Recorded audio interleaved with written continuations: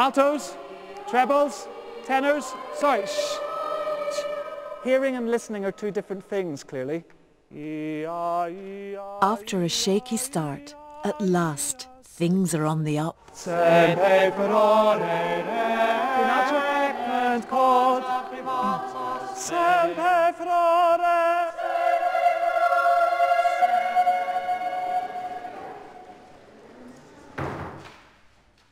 It affects the rest of my day, I have to be honest and say that.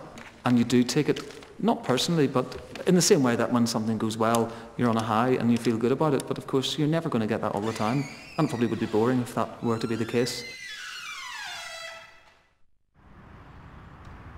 After such a tough practice, Nigel's heading back to his musical roots at St Anne's Cathedral. People think St Anne's Cathedral, Belfast Cathedral, um, but of course Belfast has two cathedrals and that needs to be more widely known. He's dropping off leaflets publicising future choral recitals in a building he knows only too well. And in the peace and quiet, there's room to reflect on present frustrations and that happy past.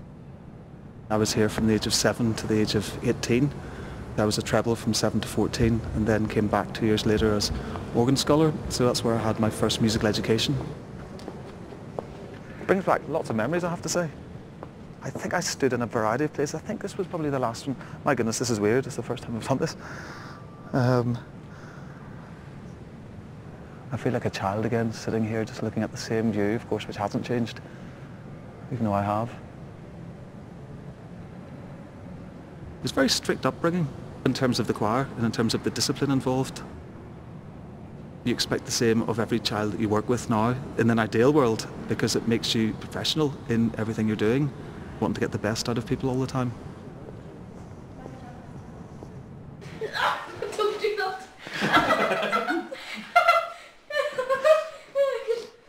Ten-year-old Donal McCann was tickled pink when Nigel signed him up. Yeah. I went, but I gave up on hopes to go to the choir. But I would like to go to Rome, definitely. That'd be brilliant. I'd just love to sing in the churches. I think they're they're beautiful.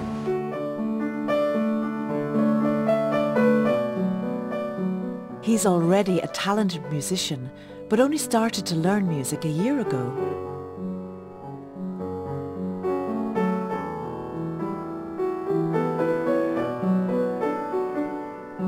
Try to aim for about an hour a day. Sometimes I don't get that, but I try to.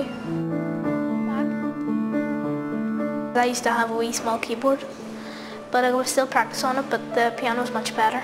And you have the pedals, which I didn't have my keyboard. we know we enjoy music, but we don't know a lot about music. So he's the driving force behind it all. And I mean, if a child's into any sport, a parent is going to encourage them. Donal gave up his place at the Scouts in order to follow his musical dreams, but Mum Maxine and Dad Michael have made sacrifices too. I came home one day and he says, Dolly, I'm doing my test in about three weeks' time. I'm doing my... I said, you haven't even got a piano to practice on, you're just playing on that wee keyboard. So I seen Mr McClintock and he went out with me and I got a piano delivered within a couple of days. And it's beautiful in the house too because the TV doesn't get played at all now. And I would say to my wife, listen to that there. And you would open the doors and you'd hear that lovely music coming. So it was money well invested.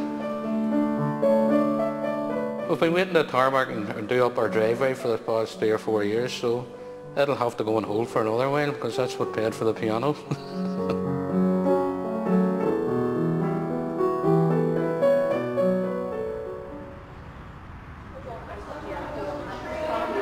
The day of the Mass has finally arrived. Nigel's squeezing in a last-minute rehearsal to warm the voices and steady the nerves.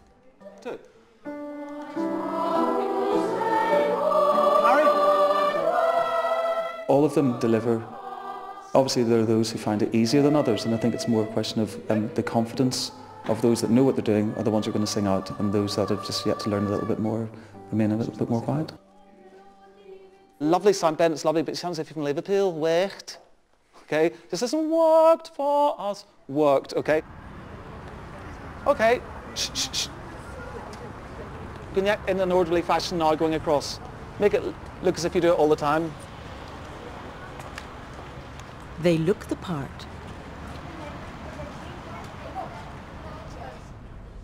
But can they raise the roof and make this mass memorable?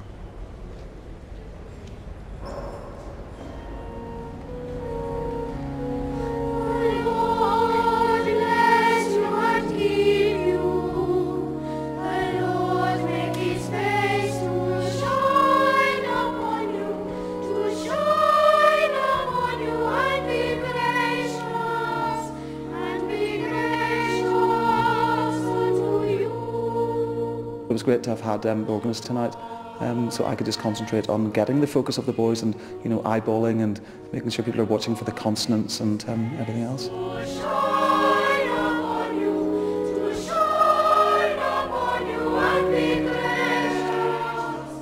The guest organist is Ian Keatley from Westminster Abbey. His enthusiasm is reflected in the sound that the boys make. I mean, at the Mass tonight, it's at times overwhelming the noise they make. It's fantastic. It's moving for the worshippers, I think, which is, which is really important.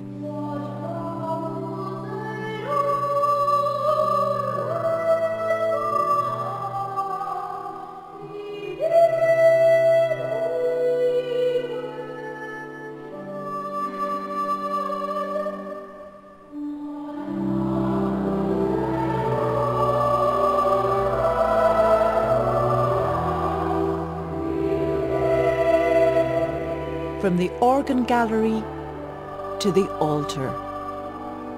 All those long hours of practice have led them to this moment.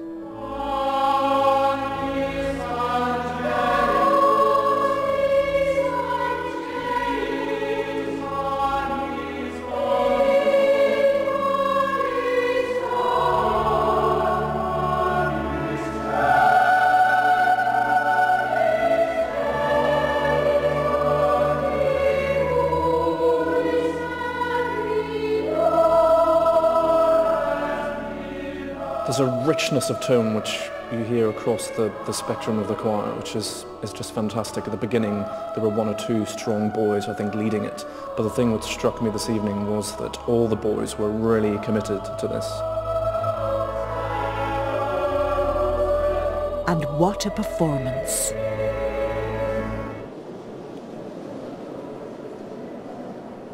One thing I don't understand is why on Sunday mornings this church isn't packed out. Music to the ears of Father Hugh Kennedy. I was delighted because obviously for most of the congregation they hadn't heard the boys before.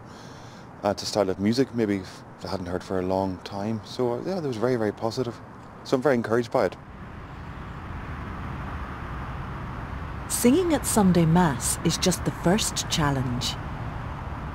Performing for the paying public is quite another.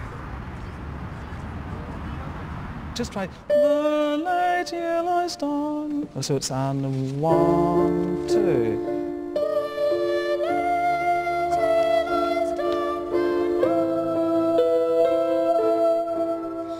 Rehearsals are underway for a concert with the internationally famous Irish tenors, and singer Kieran Nagel believes Joe is a star in the making. That's just beautiful. Beautiful. It's one, one of my favourite songs and it's just gorgeous. That kid's got something special. That's beautiful. Sometimes get nervous. I got nervous this morning when I read to sing the solo. Now on day, Yeah. Coronation Mass, yeah, it was a biggie, big thing. I remember singing that during my fresh cool and if, uh, if ever I could have sung it as well as that, now I tell you, I'd have done well. No, it was good. It was good. I know. High praise for Joe and for the choir. Nigel drills these guys extraordinarily well and the voices are absolutely excellent. The blend is incredibly good. Uh, they turn themselves out immaculately all the time. So they really care about the music. They're really, really into it. It raises the bar for us. We've got to behave and we've got to perform well tonight. The pressure's on. The choir will share a slice of the ticket sales to help raise funds. So this is their debut as commercial artists. Obviously a bit nervous because you don't know what way it's going to go because they're not yet that experienced. You sort of think, will they deliver, will they not? That's the scary bit for me. Nigel's nerves aren't shared by these young performers. And anyway, they've got a great warm-up act.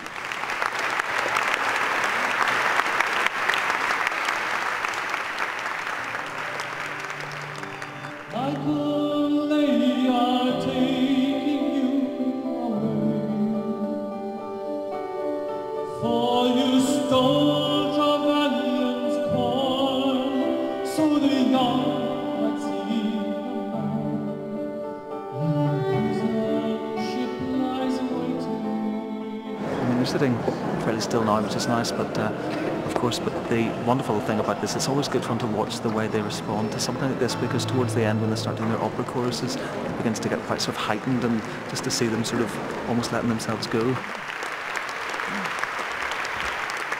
It's all going so well, but with only moments to go before the boys take to the stage, there's drama for Michael. He's just lost a baby tooth but the show must go on. Good evening, ladies and gentlemen. It's um, a real treat to share a concert with the Irish Tenors. It's a wonderful chance to do it and to let you hear a bit of our repertoire, which we're doing in advance of our trip. And it's an inspired choice.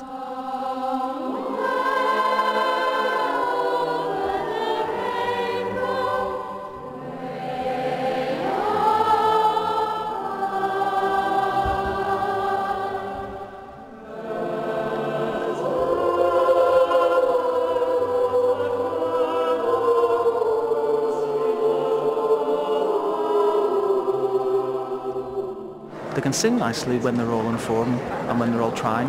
Having another performance to do and having to up the game constantly. Um, so it's, uh, it's good, good experience.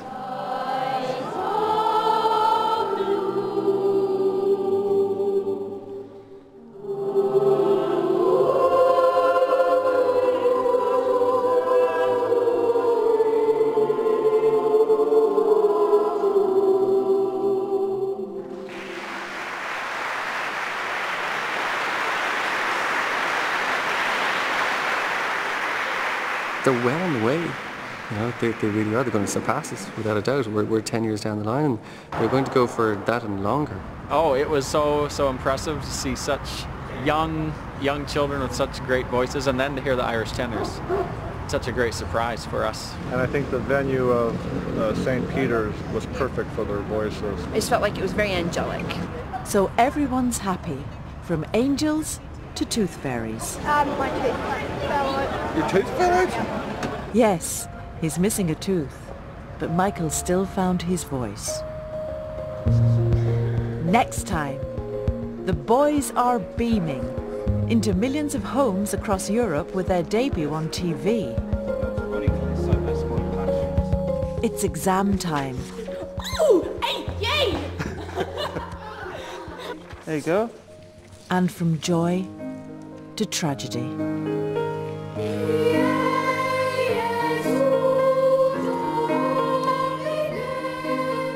A memorial service at Stormont brings out the best in the boys.